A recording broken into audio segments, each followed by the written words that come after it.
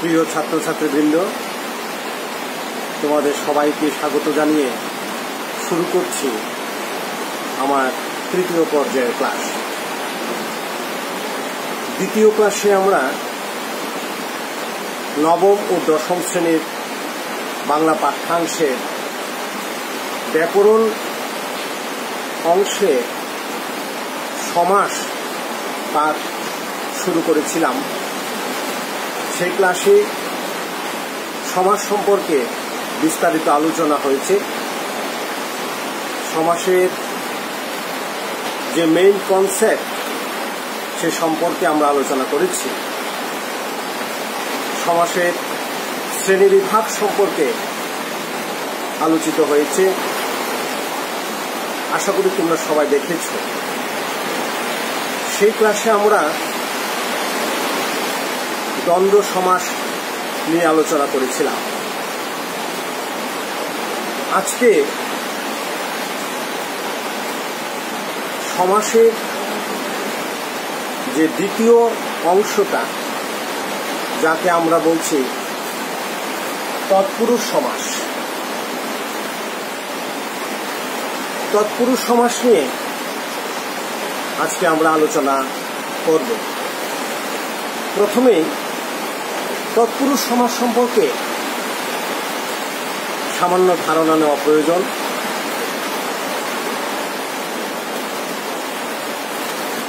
যে সমাসে পূর্বপদে বিভক্তি কিংবা অনুসর্গগুলি লুপ্ত হয়ে উত্তর পদের অর্থ প্রাধান্য পায় তাকে তৎপুরুষ সমাস বলে। তৎপুরুষ সমাসকে কারকবাচক সমাসও বলা হয়। সেজন্য এই তৎপুরুষ সমাস সম্পর্কে ভালোভাবে বুঝতে গেলে কারক সম্পর্কে সম্যক ধারণা নেওয়া প্রয়োজন। আমাদের এডু সেন্টারের পক্ষ থেকে অনেক এডু সেন্টারের পক্ষ থেকে কিছুদিন আগে একজন দিদিমণি খুব সুন্দরভাবে তোমাদের কারক ও বিভক্তি সম্পর্কে ক্লাস নিয়েছিলেন। তাই তৎপুরুষ সমাস আলোচনা প্রসঙ্গে যে কারক ও বিভক্তির জ্ঞান থাকা প্রয়োজন। সে সম্পর্কে বিস্তারিত আলোচনা যাব না। আলোচনায় যতটুকু প্রয়োজন, ঠিক ততটুকুই আমরা কারক সম্পর্কে বলে যাব। তৎপুরুষ সমাজকে বেশ কয়েকটি ভাগে ভাগ করা হয়েছে। প্রথমত দেখো কর্ম তৎপুরুষ সমাস আমরা আগেই বলেছি, তৎপুরুষ সমাসটা হচ্ছে কারক কেন্দ্রিক সমাস তো এই তৎপুরুষ সমাসের যে শ্রেণীবিভাগগুলি, শ্রেণীবিভাগের মধ্যে প্রথম আছে কর্ম তৎপুরুষ সমাস দ্বিতীয়ত করণ তৎপুরুষ সমাস তৃতীয়ত অপাদান তৎপুরুষ সমাস চতুর্থত নিমিত্ত তৎপুরুষ সমাস পঞ্চমত অধিকরণ তৎপুরুষ সমাস, ষষ্ঠত সম্বন্ধ তৎপুরুষ সমাস, সপ্তমত না তৎপুরুষ সমাস, অষ্টমত উপপদ তৎপুরুষ সমাস, নবমত উপসর্গ বা অব্যয়ীভাব সমাস। দেখা যাচ্ছে যে তৎপুরুষ সমাসের যে শ্রেণীবিভাগ সবটা কারকের উপর নির্ভরশীল। এবার আমরা কর্ম তৎপুরুষ সম্পর্কে জানব। কর্মকারক সম্পর্কে তোমরা জেনেছ। ক্রিয়াপদকে কে বা কি দিয়ে প্রশ্ন করলেই আমরা যে উত্তরটা পাব। তাকে আমরা কর্মকারক বলব। এখানে সমাসে যাচ্ছি আমরা। তাই কর্ম তৎপুরুষ সমাসে পূর্বপদের সঙ্গে যে কে দিয়ে প্রশ্ন করলে যে বিভক্তি কিংবা অনুসর্গটা পাবো, সেটা উত্তর পদে গিয়ে লুপ্ত হয়ে উত্তর পদের অর্থ প্রাধান্য পাবে। এবার কর্ম তৎপুরুষ সমাস, আমরা একটা উদাহরণ দিই।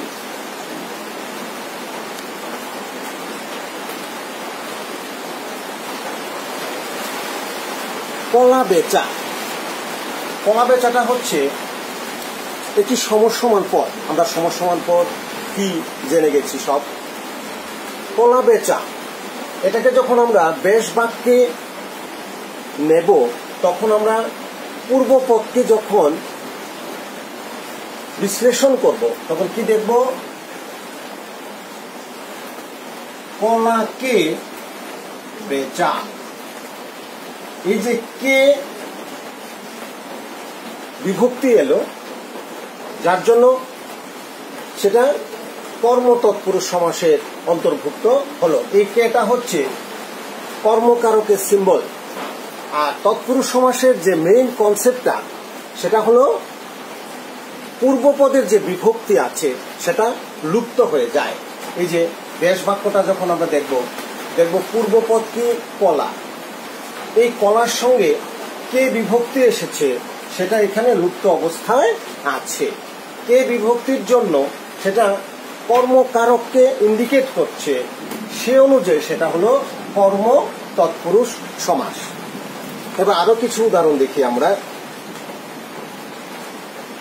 দেশোদ্ধার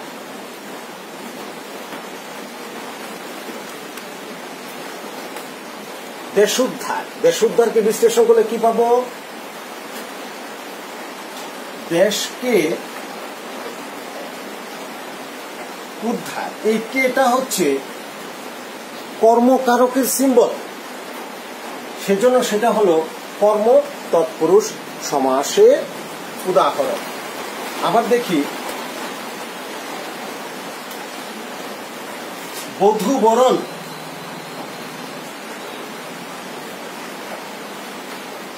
বধূবরণকে বিশ্লেষণ করলে কি পাবো? বধূকে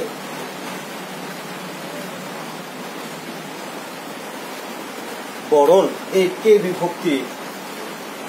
কে বিভক্তির জন্য সেটা কর্মতৎপুরুষ সমাস হলো। এবার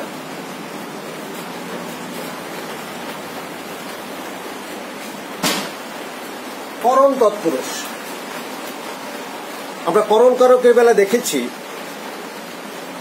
ক্রিয়াপদকে কি দ্বারা বা কি দিয়ে প্রশ্ন করলে আমরা করণ কারকের উত্তর পাব? এবার দিয়ে কিংবা দ্বারা, এই যে অনুসর্গটা, সে অনুসর্গটা পূর্বপদের সঙ্গে যুক্ত থাকে এবং উত্তর পদে অর্থ প্রাধান্য পায়, কিন্তু সমসমান পদে সেই অনুসর্গটা লুপ্ত অবস্থায় থাকে। এবার একটা উদাহরণ দেই।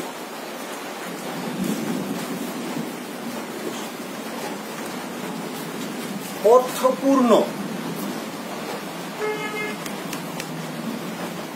এই অর্থপূর্ণ সমসমান পদটিকে বিশ্লেষণ করলে কি পাবো? অর্থ দিয়ে পূর্ণ। এই দিয়ে অনুসর্গটা করণ কারকের সিম্বল সেজন্য সেটা হলো করণ তৎপুরুষ সমাস। লক্ষ্য রাখতে হবে পূর্বপদের সঙ্গে কোন বিভক্তিটা যুক্ত হচ্ছে। আমরা কারকের বেলা দেখেছি, ক্রিয়াপদকে প্রশ্ন করার মধ্য দিয়ে আমরা কারক আইডেন্টিফিকেশনে যাই। এবার যখন আমরা কে দিয়ে প্রশ্ন করলাম, তখন কর্ম পেলাম। যখন দিয়ে প্রশ্ন করলাম, তখন করণ পেলাম। এবার দ্বিতীয় উদাহরণ দেখি।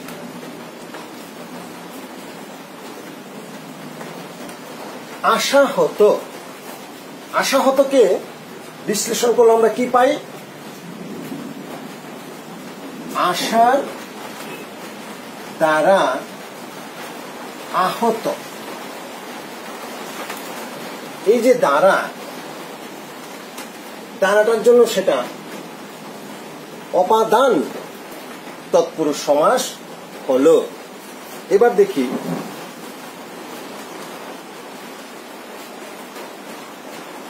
গোজামিল। গোজার দ্বারা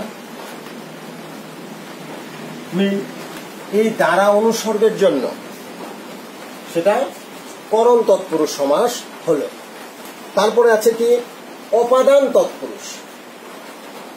এবার অপাদান কারকের বেলা আমরা কি দেখেছি? ক্রিয়াপদকে কোথা থেকে কোথা থেকে দিয়ে যখন প্রশ্ন করব, তখন আমরা অপাদান কারক পাব। এবার সমাসের বেলায়, এবার দেখো, সমাসের বেলায় পূর্ববোধের সঙ্গে যে বিভক্তি কিংবা অনুসর্গটা আসবে, সেটা থেকে হতে হবে। যেমন দেখো কি?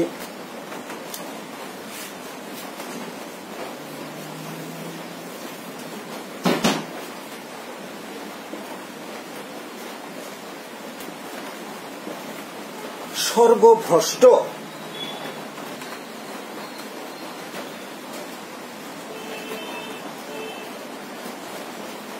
স্বর্গ থেকে ভ্রষ্ট। এই থেকে অনুসর্গটা এই সমসমান পদে পূর্ব পদের সঙ্গে লুপ্ত অবস্থায় আছে।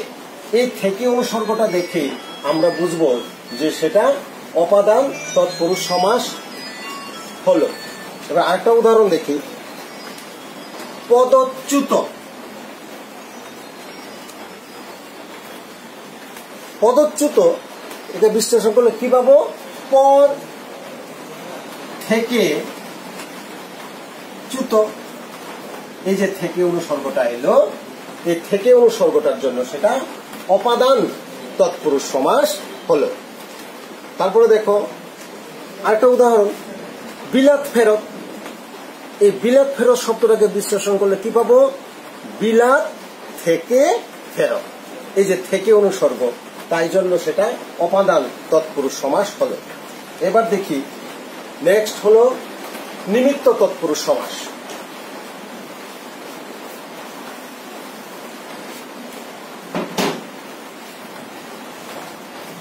নিমিত্ত কারকের বেলায় আমরা দেখেছিলাম ক্রিয়াপদকে কি জন্য দিয়ে প্রশ্ন করতে হয়। তখন আমরা যে উত্তরটা পাব। এবার নিমিত্ত তৎপুরুষ সমাসের বেলায় দেখি উদাহরণ।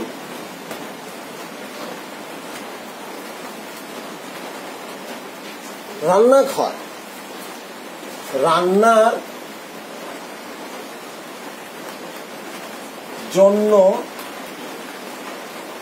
ঘর এই জন্যটা এলো নিমিত্ত কারকের সিম্বল অনুযায়ী। যেহেতু জন্ম আছে, তাই সেটা আমরা বলব নিমিত্ত তৎপুরুষ সমাস। এরপর দেখি, পড়ার ঘর। আমরা পড়ার জন্য ঘর লিখতে পারি বা পড়ার নিমিত্ত ঘর লিখতে পারি। এই যে নিমিত্ত শব্দটা আছে, তাই জন্য সেটা হলো নিমিত্ত তৎপুরুষ সমাস। এবার দেখি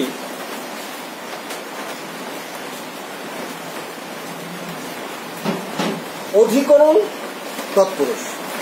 অধিকরণ কারকের বেলায় আমরা ক্রিয়াপদকে প্রশ্ন করেছিলাম। কি প্রশ্ন করেছিলাম? কখন বা কোথায়? কখন বা কোথায়? কখন মানে একটা সময় বা টাইম ইন্ডিকেট করছে। কোথায় মানে স্থানকে ইন্ডিকেট করছে। অর্থাৎ সময় কিংবা স্থান। এর উপর নির্ভর করে অধিকরণ কারক হয়। এবার অধিকরণ তৎপুরুষের বেলায় আমরা দেখি।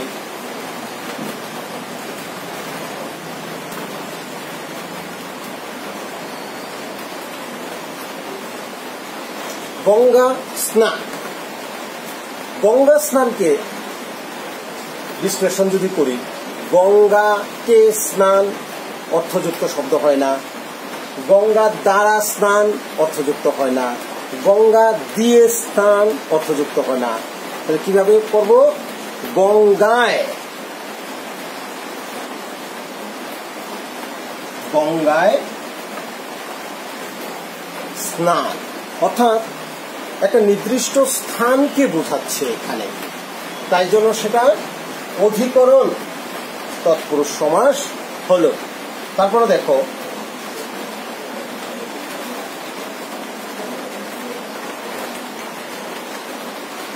গৃহপ্রবেশ। গৃহতে প্রবেশ।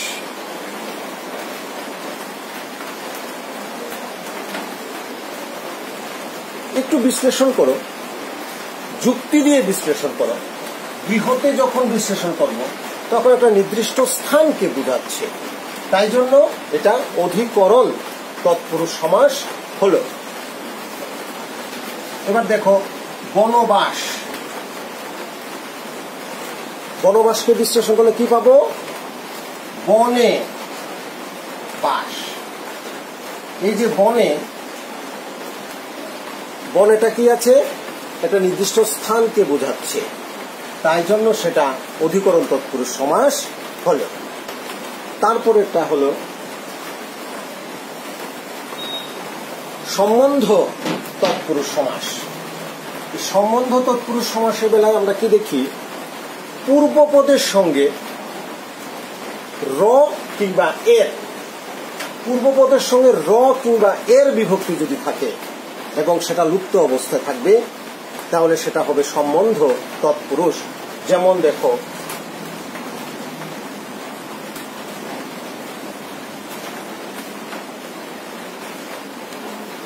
বিশ্বামিত্র, বিশ্বামিত্রকে বিশ্লেষণ করলে আমরা কি দেখব? বিশ্বের মিত্র।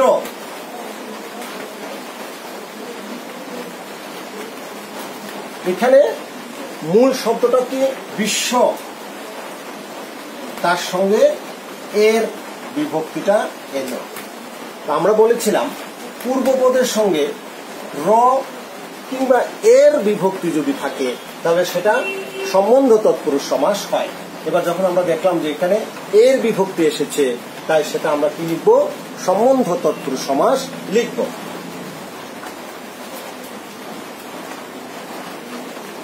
রাজমিস্ত্রি। রাজমিস্ত্রিকে বিশ্লেষণ করলে কি পাবো? মিস্ত্রিদের রাজা।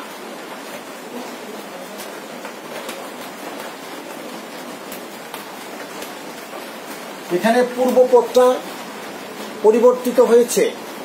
অর্থযুক্ত শব্দের সঙ্গে অর্থযুক্ত শব্দের সমন্বয়।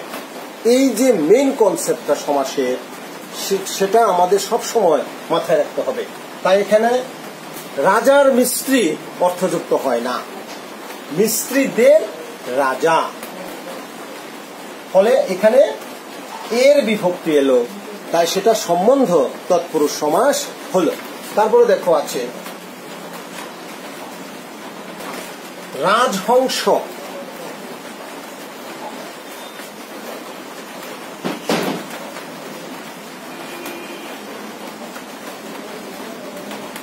রাজহংসকে বিশ্লেষণ করলে পাবো। হংসের রাজা। রাজার হংস নয়, অর্থযুক্ত হবে না। হংসের রাজা। এই যে এর এলো, তা এটা সম্বন্ধ তৎপুরুষ সমাস হলো। এবার দেখি, না তৎপুরুষ। না মানে পূর্বপদে পূর্বপদে না বা নয়। এই শব্দটা যুক্ত হবে। তখন সেটা হবে না তৎপুরুষ সমাস। এবার তৎপুরুষ সমাসের মেন কনসেপ্টটা কি আছে? পূর্বপদের সঙ্গে বিভক্তি যুক্ত হবে এবং উত্তর পদের অর্থ প্রাধান্য পাবে। পূর্বপদের সঙ্গে যে বিভক্তিটা যুক্ত হলো, সেটা লুপ্ত অবস্থায় থাকবে। এই কনসেপ্টে আমরা না তৎপুরুষের বেলায় দেখি কি আছে? বেমানান বেমানান পূর্বপদের স্থানে নাবাচক হবে। নয় মানান এই নয় শব্দটা পূর্বপদের জায়গায় বসেছে। তাই জন্য সেটা না তৎপুরুষ সমাস হলো। যেমন অনর্থ। অনর্থকে বিশ্লেষণ করলে কি পাবো? নয় অর্থ। অর্থাৎ না তার তৎপুরুষ সমাস।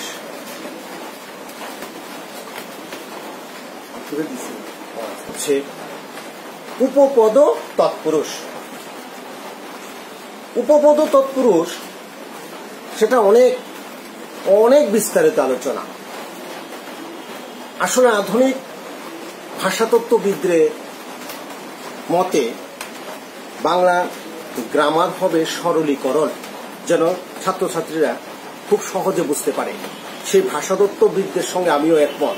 তাই উপপদ তৎপুরুষের সে বিশাল আলোচনাটাকে যদি আমরা খুব সংক্ষেপে বলি, তাহলে কি বলব? এখানে ক্রিয়াপদের প্রাধান্য পায়। উপপদ তৎপুরুষে ক্রিয়াপদের প্রাধান্য পায়। যেমন দেখো মধুকর পূর্বপদ মধু আছে। এবার মধু করে যে, এই যে করে ক্রিয়াপদটার প্রাধান্য, এই টোটাল বেশ বাক্যটার মধ্যে, যেহেতু করে ক্রিয়াপদটা প্রাধান্য যে সমাসে ক্রিয়াপদের প্রাধান্য পাবে, তাকে আমরা উপপদ, তৎপুরুষ সমাস বলব। তারপরে দেখো কি আছে। গৃহস্থ। গৃহে থাকে যিনি। এই যে থাকে, এই ক্রিয়াপদটার প্রাধান্য, এই সমসমান পদটাকে বিশ্লেষণ করলে আমরা দেখব যে এখানে থাকে এই ক্রিয়াপদটার প্রাধান্য সূচিত হচ্ছে। তারপরে দেখো, বরদ বরদকে বিশ্লেষণ করলে কি পাবো? বর দান করেন যিনি। এখানে করেন ক্রিয়াপদটার প্রাধান্য। তাই জন্য সেটা উপপদ তৎপুরুষ সমাস হলো। নেক্সট হচ্ছে উপসর্গ বা অব্যয়ী ভাব সমাস। এখানে এই সমাসে পূর্বপদটাকে যখন আমরা বিশ্লেষণ করব দেখব যে নামপদের আগে উপসর্গটা বসছে। যেমন দেখো, প্রতিদান। প্রতিটা হচ্ছে উপসর্গ। এটাকে বিশ্লেষণ করলে আমরা কি পাবো? দানের বিপরীত। দানের বিপরীত। সমসমান পদটা পড়লে আমরা বুঝতে পারব সেটা উপসর্গ আছে কিনা। যেহেতু প্রতি একটা উপশব্দ উপসর্গ, তাই সেটা উপসর্গ তৎপুরুষ সমাসের দিকে যাচ্ছে। উপসর্গ তৎপুরুষ সমাসকে অব্যয়ীভাব সমাস বলা হয়। আমরা অনেক বই দেখেছি, অব্যয়ীভাব সমাসটাকে আলাদা করে দেখানো হয়েছে। অ্যাকচুয়ালি উপসর্গ বা অব্যয়ীভাব সমাসকে একসঙ্গে করাই ভালো। তারপরে দেখি উপবন। এই যে দেখো, উপটা একটা উপসর্গ। তাহলে উপবন কি লিখব? বনের সদৃশ। বনের সদৃশ। তারপরে যদি লিখি দুর্ভিক্ষ। দুর্ভিক্ষ, এটা একটা উপসর্গ। এটাকে বিশ্লেষণ করলে কি পাবো?